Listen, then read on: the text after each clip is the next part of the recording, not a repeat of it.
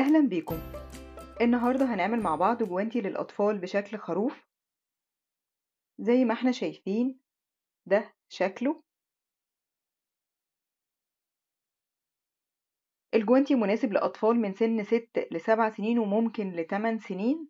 مناسب بناتي وأولادي. شكله جميل ومبهج زي ما إحنا شايفين ومناسب للأطفال. كمان خطوات عمله سهلة وبسيطة هننفذها مع بعض خطوة بخطوة وكمان هنشوف إزاي نقدر ننفذه بأي مقاس فهنشوف مع بعض هنعمله إزاي. لكن قبل ما نبدأ لو كنتم بتابعونا من اليوتيوب اعملوا اشتراك أو subscribe وفعلوا التنبيه أو ال notifications من علامة الجرس. أما لو كنتم بتابعونا من الفيسبوك اعملوا like للصفحة. الخيط اللي هنستخدمه هو Alize Sekerim Bebe والإبرة اللي هنستخدمها معاه مقاس 3 وتقدروا تستخدموا أي خيوط تفضلوها تكون متوسطة السمك وكمية الخيوط اللي هنستهلكها هنستهلك من اللون الأساسي أقل من 50 جرام. أما الألوان التانية فهنستهلك كميات بسيطة ممكن ننفذها من بواقي خيوط تكون أقل من 20 جرام. ولو حبيتوا تشتروا أي أدوات أو مستلزمات للكروشيه أونلاين موجود تحت في الوصف link تقدروا تشتروا منه من أي دولة في العالم. هنبدأ سلسلة البداية هنبتدي بثلاث غرز سلسلة واحد اتنين تلاتة. هندخل بالإبرة في الغرزة الأولى. نعدي الخيط منها ومن الحلقة اللي معانا على الإبرة فنقفل الغرزة الأولى مع الغرزة الأخيرة بغرزة نائمة أو منزلقة ونكون حلقة. هنبدأ نبني لفات على الحلقة دي. هنبتدي اللفة الأولى بغرزة سلسلة ارتفاع وهنشتغل أغلب جسم الجوانتي بغرز الحشو. هندخل جوه الحلقة اللي كوناها من سلسلة البداية. زي ما إحنا شايفين جوه الحلقة مش في غرز السلسلة. ونبدأ نعمل غرز الحشو بتلف على سلسلة البداية. هنبدأ أول لفة هتكون عبارة عن عشر غرز حشو. هننفذهم بنفس الطريقة اللي وضحناها. زي ما إحنا شايفين غرز الحشو بتلف على سلسلة البداية. زي ما إحنا شايفين عملنا عشر غرز حشو. هندخل في غرزة السلسلة سلسلة الارتفاع اللي بدأنا بيها اللفة.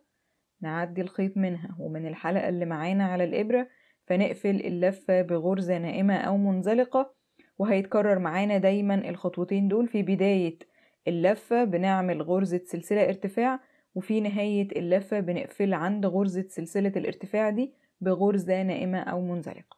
بدأنا اللفة التانية بغرزة سلسلة ارتفاع.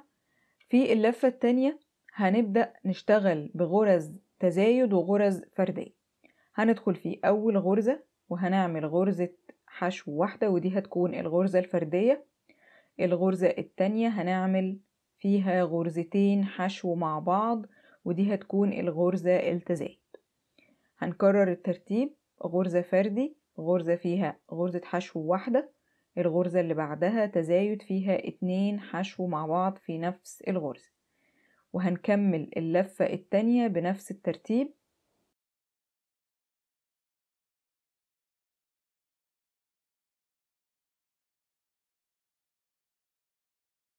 وصلنا لنهاية اللفة التانية. هنقفل زي ما وضحنا عند سلسلة الارتفاع اللي بدأنا بيها اللفة. نقفل اللفة بغرزة نائمة أو منزلقة. هنبدأ اللفة التالتة. هنبدأ بغرزة سلسلة ارتفاع. في اللفة التالتة هنبدأ نزود الغرز الفردية هنزودهم غرزة كمان فهيبقى هنشتغل غرزتين فردي. كل غرزة فيها غرزة حشو واحدة الغرزة التالتة فيها التزايد اتنين حشو مع بعض في نفس الغرزة. ونكرر نفس الترتيب غرزة فيها غرزة حشو واحدة الغرزة التانية برضو فيها غرزة حشو واحدة والتالتة هيكون فيها التزايد اتنين حشو مع بعض في نفس الغرزة. ونكمل.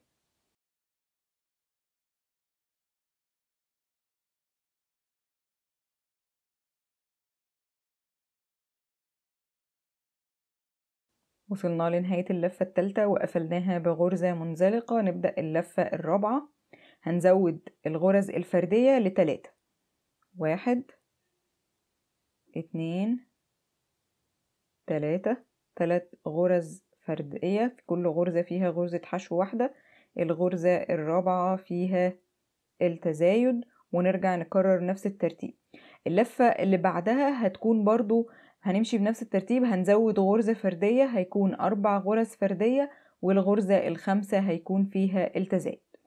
فزي ما إحنا شايفين أول لفات بدأناها التانية والتالتة والرابعة والخامسة زودنا بدأنا بغرزة فردية واحدة والغرزة التزايد. اللي بعدها اتنين والغرزة التزايد واللي بعدها تلاتة زودنا غرزة والغرزة التزايد واللفة بعدها أو الرابعة في اللفات دي هيكون فيها أربع غرز فردية والغرزة الخامسة فيها التزايد. فهنكمل اللفة آخر لفتين بالطريقة اللي وضحناها.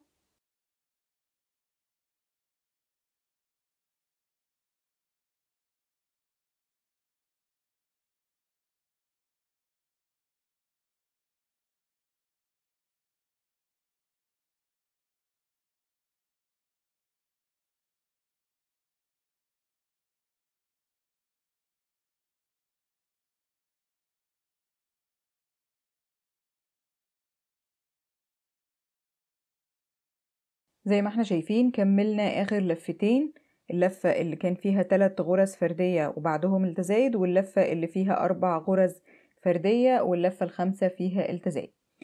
أول لفات عملناها أول خمس لفات هي اللي بتحدد معانا اتساع الجوانتي. فمن خلال اللفات دي بنقدر نغير في الاتساع نزود أو نقلل.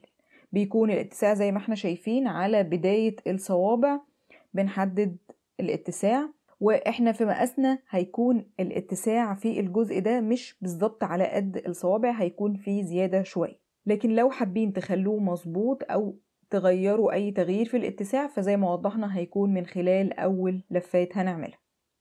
هنبدأ اللفات إحنا هنقف باللفات اللي فيها التزايد. لحد اللفات دي هنكمل. اللفات الجاية بعدها هتكون كل الغرز فيها فردية هتبدأ تظبط معانا أو تزود معانا الطول. زي ما وضحنا اللفات الأولى بس هي اللي كان فيها التزايد ووقفنا عند الاتساع اللي حابين هنبدأ كل لفة بغرزة سلسلة ارتفاع وهنشتغل في كل غرزة بغرزة حشو واحدة. مش هنعمل أي غرز فيها تزايد.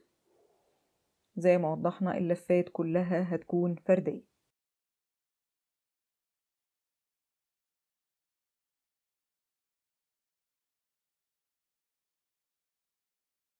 كملنا زي ما إحنا شايفين لفات الجزء الأول من الجوانتي اللي هيغطي الأصابع.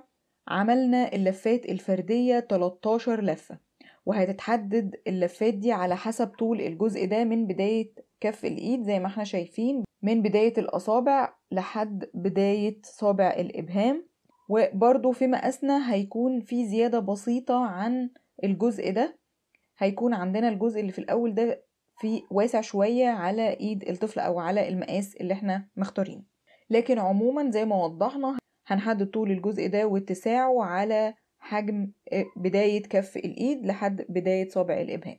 هنبدأ اللفة اللي عليها الدور هي اللي هنبدأ نعمل فيها الفتحة لصابع الإبهام. نخلي بالنا من خطوة مهمة. من خلال الخط اللي بنبدأ وننهي عنده اللفات هنحدد الاتجاه اللي هنعمل عنده فتحة صابع الإبهام للإيد اليمين أو الإيد الشمال. لو هنعمل أو إحنا بنشتغل في الإيد اليمين هتكون فتحة صابع الإبهام على الشمال من الخط ده. أما لو بنعمل العكس الإيد الشمال هتكون الفتحة على الإيد اليمين.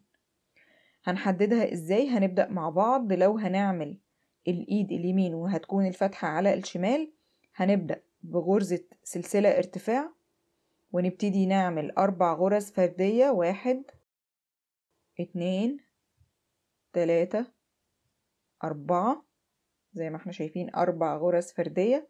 ونعمل سلسلة ست غرز واحد اتنين تلاتة أربعة خمسة ستة.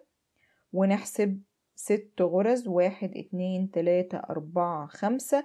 عند الغرزة رقم ستة هنعمل غرزة الحشو اللي عليها الدور ويتكون بالشكل ده فتحة صابع الإبهام. دي هتكون للإيد اليمين. ونكمل باقي اللفة زي ما إحنا شايفين. وصل السلسلة عملناه بغرزة حشو ونكمل باقي اللفة بغرز حشو فردية. ده زي ما وضحنا لو هنكون بنعمل الفتحة على الجزء أو على شمال الخط ده. أما لو هنعملها على اليمين هنبدأ بغرزة سلسلة ارتفاع وهنبتدي نشتغل كل الغرز أو اللفة لحد ما نوصل لنحسب الأربع غرز اللي هنسيبهم والست غرز نبدأ قبلهم نعمل السلسلة. هنشوف.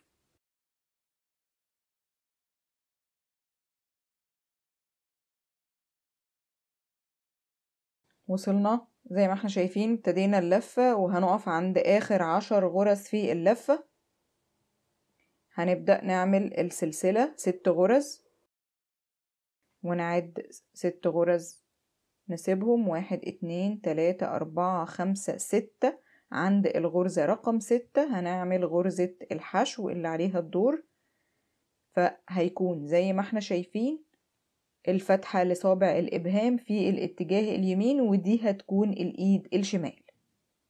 نكمل باقي اللفة باقي الغرز.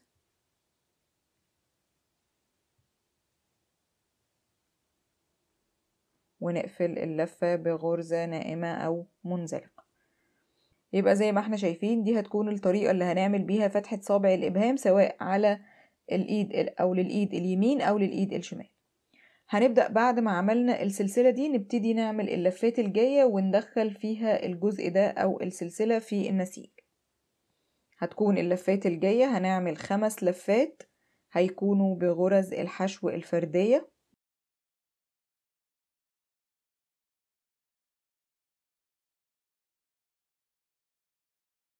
زي ما إحنا شايفين وصلنا للسلسلة. هنبدأ نشتغل في كل غرزة من غرز السلسلة اللي عملناها لصابع الإبهام. في كل غرزة هنعمل غرزة حشو واحدة زي ما وضحنا هندخلها في نسيج اللفات.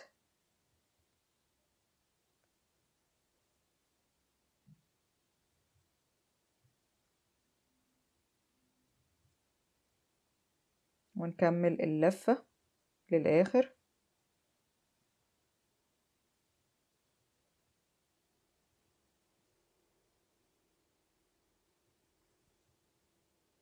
نقفل ونبدأ اللفة اللي عليها الدور ونكمل باقي اللفات الخمسة.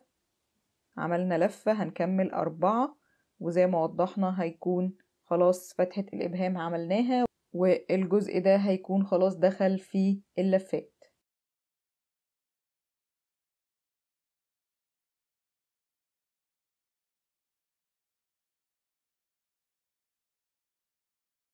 كملنا زي ما إحنا شايفين اللفات اللي عملناها بعد صابع الإبهام. الجزء ده زي ما إحنا شايفين هيبتدي بيبتدي قبل المعصم أو قبل المفصل بيبتدي العرض فيه يقل. فهنبدأ نعمل بعض التناقصات عشان تقلل في حجم اللفات. هنعمل التناقص هيكون على جنبين اللف.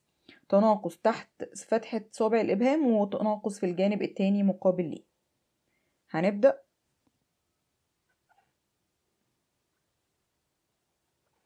هنبتدي بغرز لحد ما نوصل نظبط زي ما إحنا شايفين الخط ده في النص عشان نظبط أماكن التناقص. نبدأ في الجنب ده.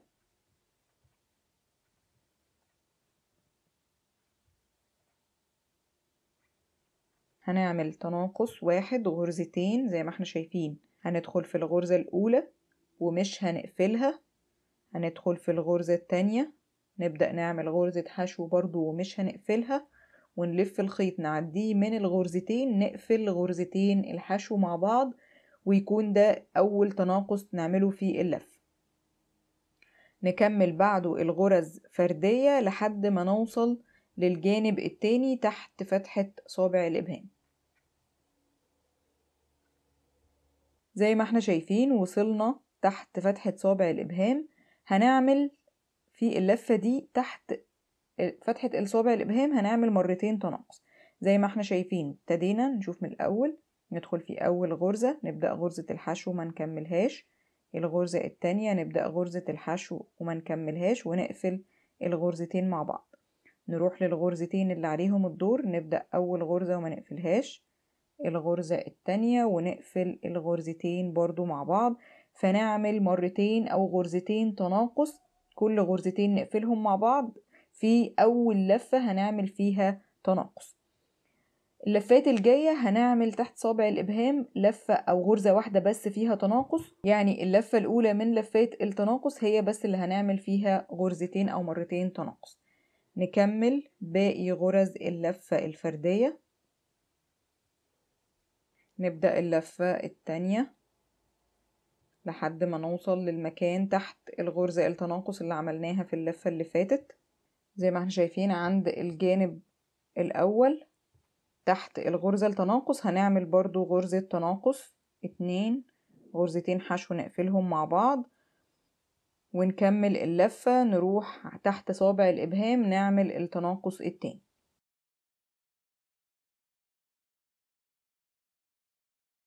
وصلنا تحت صابع الإبهام. زي ما وضحنا في اللفة دي واللفة الجاية هنعمل مرة واحدة بس تناقص. زي ما إحنا شايفين غرزتين نقفلهم مع بعض ونكمل باقي غرز اللفة فردية. وزي ما وضحنا اللفة الجاية هتكون بنفس الطريقة. يبقى التلات لفات اللي هنكتفي بيهم أو هنعمل فيهم تناقص أول لفة هنعمل الجنب ده اللي مفيهوش أو المقابل لصابع الإبهام. هيكون في التلات لفات في غرزة واحدة بس تناقص. أما تحت صابع الإبهام أول لفة هيكون فيها غرزتين تناقص واللفتين اللي بعدها هيكون في كل لفة غرزة تناقص واحدة بس في الجانب ده. طبعا التناقص ده بنغيره برضو على حسب المقاس وعلى حسب حجم الجزء ده من الإيد. وكمان عدد اللفات طوله برضو نغيرها على حسب طول الجزء ده من الإيد. من بعد فتحة صابع الإبهام لبداية المفصل أو معصم الإيد.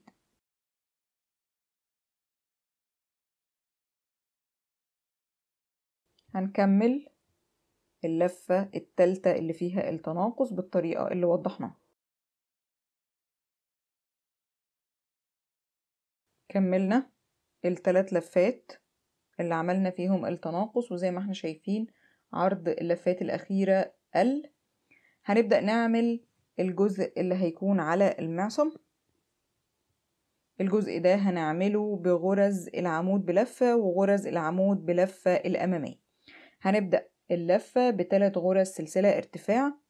أول لفة هنشتغل بغرز العمود بلفة العادية. في كل غرزة هنعمل غرزة عمود بلفة واحدة.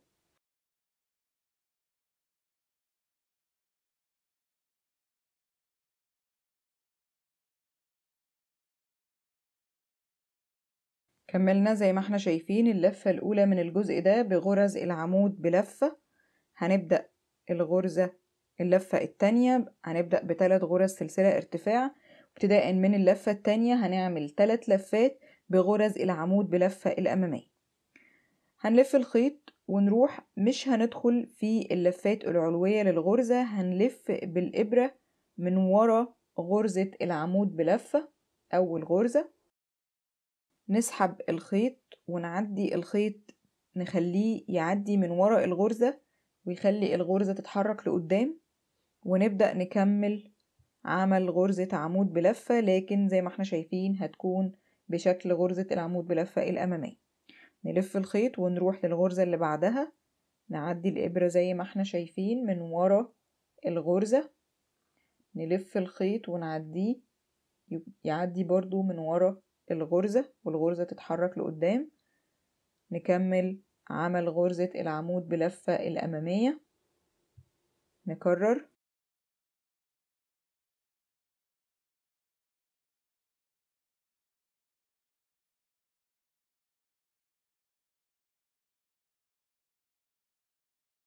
زي ما إحنا شايفين شكل غرز العمود بلفة الأمامية اللي عملناها. وطبعا بنيناها على اللفة الأولى اللي كانت بغرز العمود بلفة العادية. هنكمل زي ما وضحنا تلات لفات فهيكون بالإضافة للفة الأولى اللي عملناها الجزء ده أربع لفات.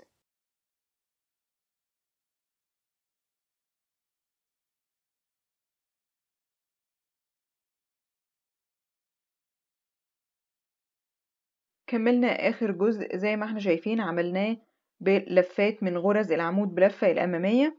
هنكمل جزء الصابع هنبدأ زي ما إحنا شايفين من المكان ده من جوه. ده الجزء ده هيكون جوه الإيد وده اللي هيكون الظهر واللي هنعمل عليه وش الخروف. فمن جوه هنبدأ نوصل الخيط ونبدأ نعمل غرزة سلسلة ارتفاع. ونبتدي نشتغل في الغرز اللي بتحيط بالفتحة دي. هنبتدي نعمل اللفات اللي هتكون الصوب زي ما إحنا شايفين هندخل في كل غرزة ونعمل فيها غرزة حشو واحدة.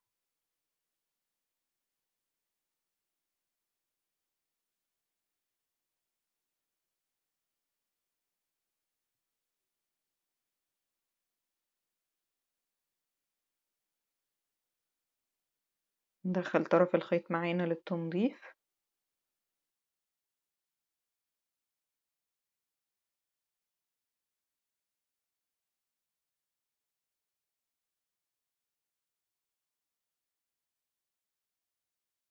وصلنا لآخر غرزة وعملنا فيها غرزة حشو واحدة. وهنقفل اللفة الأولى عند غرزة السلسلة اللي بدأنا بيها اللفة. زي ما إحنا شايفين لفة كاملة عند الفتحة اللي عملناها في جسم الجوانتي. هنكمل بعدها اللفات الجاية بنفس الطريقة لفات من غرز الحشو الفردية.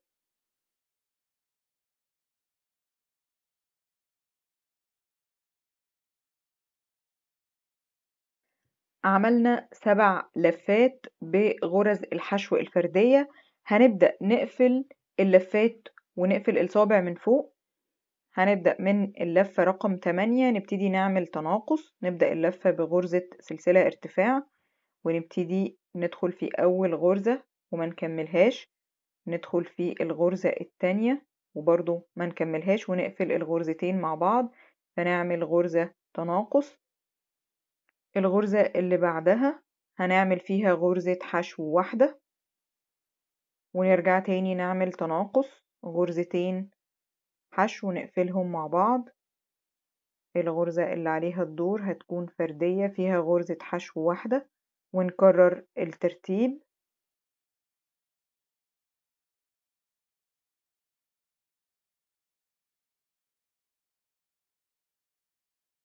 كملنا اللفة هنقفل عند غرزة السلسلة الارتفاع نقفل بغرزة منزلقة. اللفة اللي بعدها هنعمل كل الغرز تناقص نبدأ بغرزة سلسلة ارتفاع وكل غرزتين هنقفلهم مع بعض ونعملهم تناقص.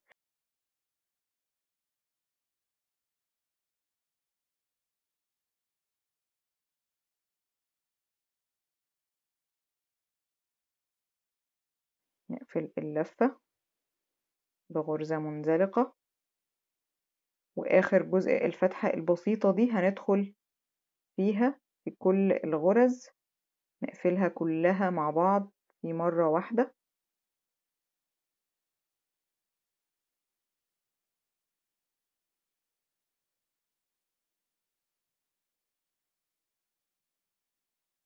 زي ما إحنا شايفين نقفلهم كلهم ونقفل النسيج أو اكتمل معانا نسيج الصابع. زي ما إحنا شايفين اكتمل نسيج صابع الإبهام واكتمل معانا جسم الجوانتي.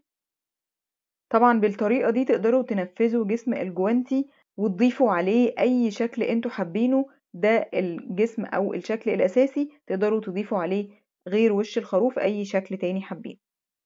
كمان أي غرزة اشتغلنا بيها في الفيديو سواء غرزة الحشو أو السلسلة أو الغرزة المنزلقة أو غرزة العمود بلفة أو العمود بلفة الأمامية أي غرزة اشتغلنا بيها حابين تشوفوا شرحها بالتفصيل تقدروا ترجعوا للفيديو المخصص ليها لشرحها في فيديوهات الغرز في أساسيات الكروشيه على قناتنا. هنبدأ دلوقتي نعمل شكل الخروف. هنبدأ بالودن هنستخدم خيط باللون الأسود لكن للشرح هنستخدم نفس الخيط اللي استخدمناه في جسم الجوانتي. هنبتدي سلسلة البداية للودن تلات غرز سلسلة.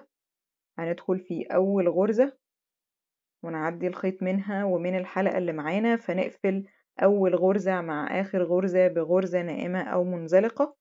نبدأ اللفة الأولى نبدأ بغرزة سلسلة ارتفاع. وندخل جوه الحلقة اللي كوناها من سلسلة البداية. نعمل غرز الحشو بتلف عليها وهنبدأ أول لفة هتكون ست غرز حشو. هندخل في غرزة السلسلة اللي بدأنا بيها اللفة نقفل اللفة الأولى بغرزة نائمة أو منزلقة زي ما إحنا شايفين اكتملت اللفة الأولى. هنبدأ اللفة التانية واللفة التانية والتالتة هيكونوا بنفس الطريقة. نبدأ اللفة بغرزة سلسلة ارتفاع ندخل في الغرزة الأولى نعمل غرزتين حشو مع بعض في نفس الغرزة. الغرزة التانية هيكون فيها غرزة حشو واحدة ونرجع نكرر الترتيب غرزة فيها تزايد اتنين حشو مع بعض في نفس الغرزة والغرزة اللي بعدها هتكون غرزة فردية ونكمل زي ما وضحنا بنفس الترتيب اللفة التانية والتالتة.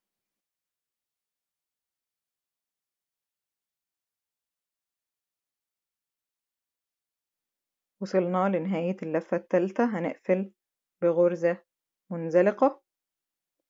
هنبدأ نعمل اللفات الجاية هتكون بغرز الحشو الفردية. هنعمل أربع لفات من غير أي تزايد نبدأ كل لفة بغرزة سلسلة ارتفاع ونعمل في كل غرزة غرزة حشو واحدة وطبعا بنقفل كل لفة بغرزة منزلقة عند غرزة السلسلة اللي بدأنا بيها اللفة. هنعمل زي ما وضحنا أربع لفات بغرز الحشو الفردية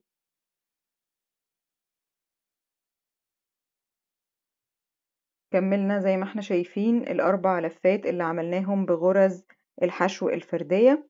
هنعمل اللفتين اللي عليهم الدور هيكون فيهم تناقص هنقلل في حجمهم أو في عرضهم. اللفتين هيكونوا بنفس الطريقة هنشتغل. نبدأ برضو اللفة بغرزة سلسلة ارتفاع ونعمل في كل لفة مرتين تناقص هنوزعهم توزيع عشوائي ممكن نعمل غرزة تزايد في البداية وغرزة في النص أو على الجنبين. نعمل التناقص زي ما وضحنا مرتين نوزعهم في اللفتين الجايين. هنبدأ زي ما وضحنا نعمل غرز فردية. ونبدأ نعمل غرزة تناقص نكمل غرز فردية.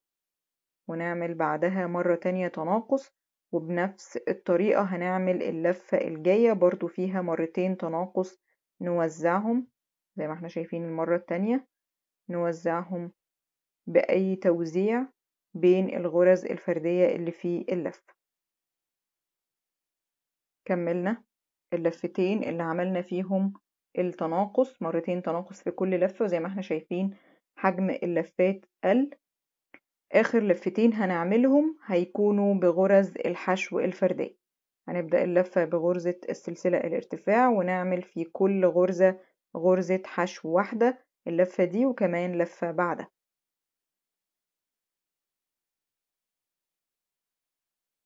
كملنا آخر لفتين بغرز الحشو الفردية. هنتني الودن زي ما إحنا شايفين طبقتين يكونوا مقابلين لبعض.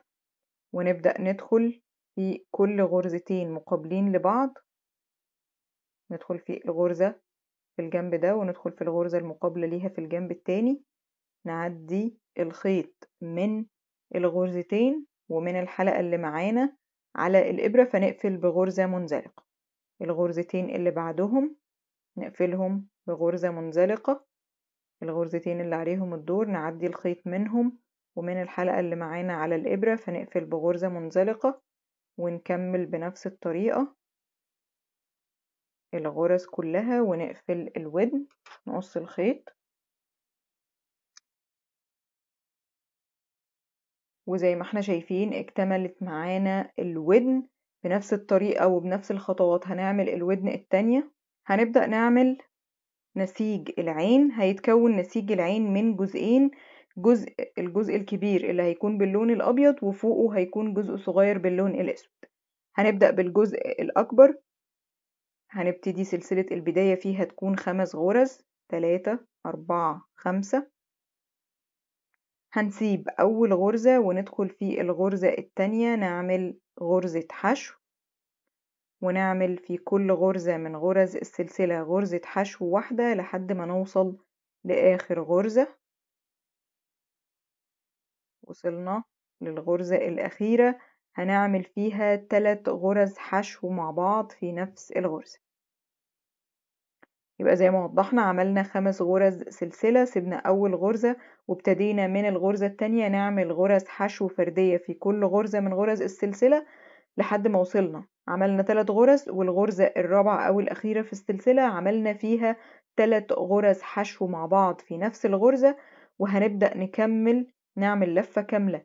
على جانبين السلسلة هنشتغل في الجانب التاني نعمل مقابل لكل غرزة حشو في الجانب التاني غرزة حشو واحدة. نعمل تلات غرز على الجانب التاني مقابلين لأول تلات غرز وعند غرزة السلسلة اللي سبناها في البداية أو أول غرزة نقفل اللفة الأولى بغرزة نائمة أو منزلقة. زي ما إحنا شايفين اكتملت معانا اللفة الأولى التزايد الوحيد اللي فيها كان في آخر غرزة من السلسلة تلات غرز حشو مع بعض في نفس الغرزة. هنبدأ اللفة التانية نبدأ بغرزة سلسلة ارتفاع. وفي أول غرزة هنعمل غرزتين حشو مع بعض في نفس الغرزة. ده التزايد الأول أو عند اللفة دي أو المنحنى ده. أول غرزة فيها اتنين حشو مع بعض في نفس الغرزة الغرزة التانية فيها غرزة حشو واحدة الغرزة التالتة برضو فيها غرزة حشو واحدة ووصلنا للتلات غرز اللي في المنحنى التاني أو اللي كانوا في آخر غرزة سلسلة. هنعمل في كل غرزة من التلاتة غرزتين حشو مع بعض في نفس الغرزة. نبدأ أول غرزة فيها اتنين حشو مع بعض في نفس الغرزة. الغرزة التانية برضو فيها غرزتين في نفس الغرزة والغرزة التالتة فيها برضو تزايد اتنين حشو مع بعض في نفس الغرزة. ونكرر بالعكس الترتيب للنص الأول نبدأ بالغرزتين الفردي كل غرزة فيها غرزة حشو واحدة وآخر غرزة هيكون فيها التزايد اتنين حشو مع بعض في نفس الغرزة. وعند غرزة السلسلة الارتفاع نقفل بغرزة نائمة أو منزلقة ونقفل النسيج نقص الخيط وبكده اكتمل معانا النسيج الأكبر للعين. وطبعا بنفس الخطوات هنعمل لكل إيد من الجوانتي نسيجين للعينين. الجزء الأسود الصغير هنبدأ فيه سلسلة البداية هتكون تلات غرز سلسلة. نقفل أول غرزة مع آخر غرزة بغرزة نائمة أو منزلقة ونعمل هيكون لفة واحدة هنبدأها بغرزة سلسلة ارتفاع وندخل جوه الحلقة اللي كوناها من سلسلة البداية مش في غرز السلسلة. ندخل غرز الحشو تلف على السلسلة ونعمل 8 غرز حشو.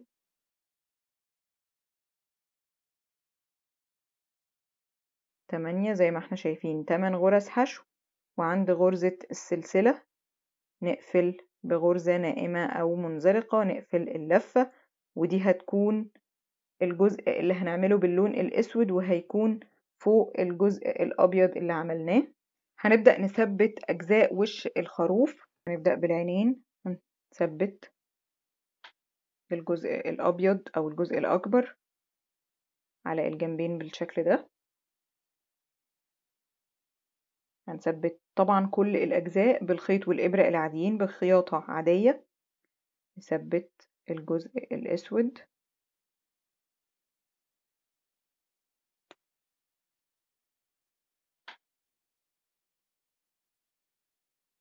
والودنين هيكونوا فوق صابع الإبهام. هنثبت الودن الأولى. وفي الجانب المقابل ليها هنثبت الودن التانية وبرضو زي ما وضحنا هيكون تثبيت بخيط وإبرة عادية بخياطة عادية. وصلنا زي ما إحنا شايفين الأجزاء اللي عملت وش الخروف عملنا العينين والودنين. آخر جزء هنعمله هو الجزء اللي هيكون فوق اللي هيكون زي فروة الخروف. هنستخدم في عمله مجموعة من الخيوط زي ما إحنا شايفين دي هتكون أطولها هناخد الخيط. ونبدأ نتنيه نصين. ونروح نبدأ هنوص... هنعملهم من الودن دي للودن التانية. نبدأ نعدي عند الغرز. نختار أول غرزة. نعدي الإبرة زي ما إحنا شايفين من وراها. ونبتدي ناخد الخيط من, من النص. زي ما إحنا شايفين بعد ما تنيناه نعدي. نكون حلقة نعدي الأطراف دي من الحلقة دي ونربطهم بعقدة.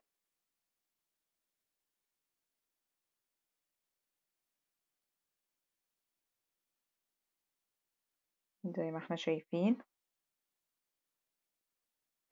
ناخد خيط تاني نكرر نتنيه نصين ونسيب غرزة. ونروح للغرزة اللي بعدها. ناخد الخيطين دول من النص. نعديهم بالراحة بالإبرة. ونعدي الخيوط دي من الحلقة اللي كوناها. ونكمل العقدة. نكرر بنفس الطريقة. باقي الخيوط نسيب غرزة وبعد الغرزة دي نختار الغرزة اللي بعدها. نكرر عندها نفس الخطوة.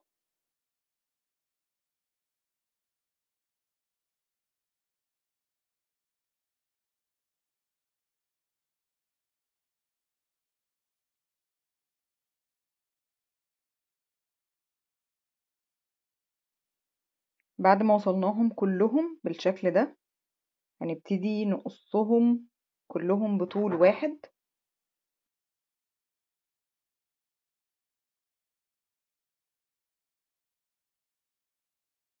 هنستخدم دبوس أو إبرة ونبتدي نفك نسيج كل خيط.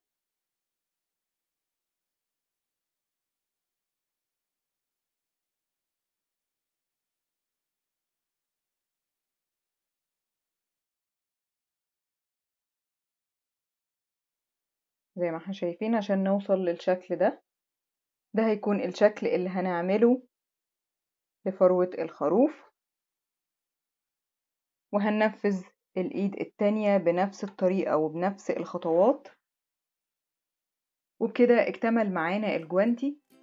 لو عجبكم الفيديو ده ما تنسوش تعملوا share و like ولو عندكم أي استفسار اكتبوه في ال comments وعلشان يوصلكم كل جديد لينا اعملوا subscribe لقناتنا. وشكرا.